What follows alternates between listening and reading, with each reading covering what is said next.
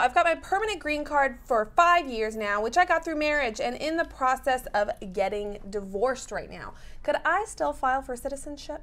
How long has she had her green card? She's had her permanent green card five years, and they're currently going through the through the divorce. If she's had a green card for five years, absolutely.